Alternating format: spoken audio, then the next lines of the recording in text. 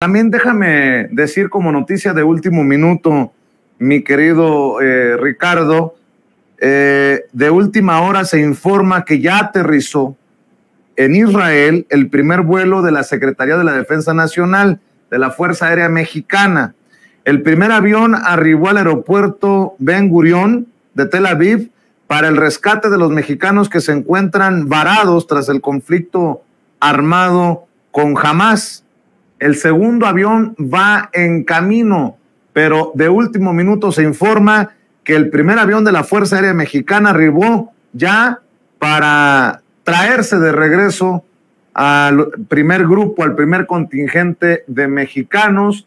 que se quedó en esa zona al estallar el conflicto entre el Estado de Israel y el grupo Hamas. Así que estamos al pendiente